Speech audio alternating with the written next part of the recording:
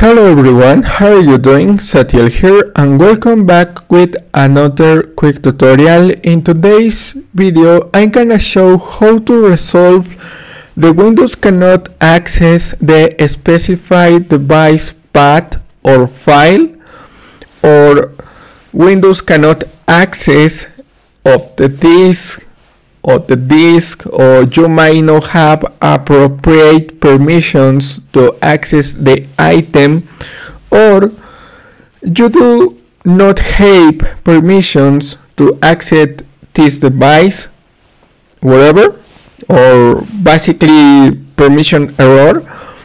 Um, for this solution I'm gonna show um, this folder for example, locate your file or folder. In this case, I select custom office templates. Right click and select properties. Go to the security tab. One click. Select advanced and click on add.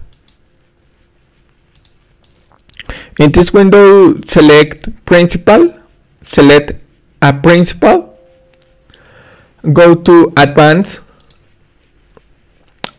and select Find Now and locate the user everyone or type everyone.